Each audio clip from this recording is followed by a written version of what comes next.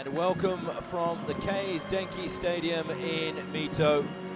As the players walk past a cup they're going to be playing for in today's match.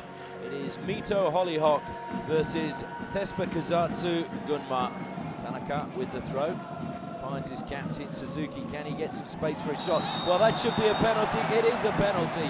Well, that's the perfect start for Mito. There's no doubt about that.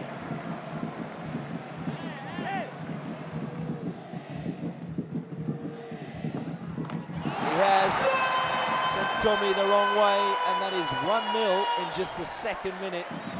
Takayuki Suzuki carries it forward for the home side. Played into, this should be a goal. The keeper's come out. What a brilliant save that was to deny Yuto Suzuki. Still alive inside the penalty area.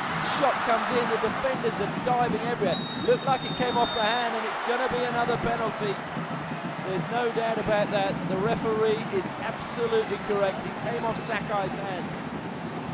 The captain of Kusatsu.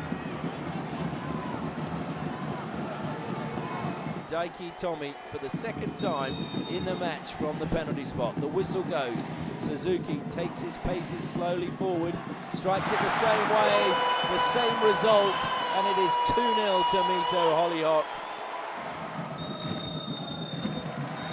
Whistle goes for the end of the match. The final score, Mito Hollyhock 2, Thiespa Kazatu Gurma nil.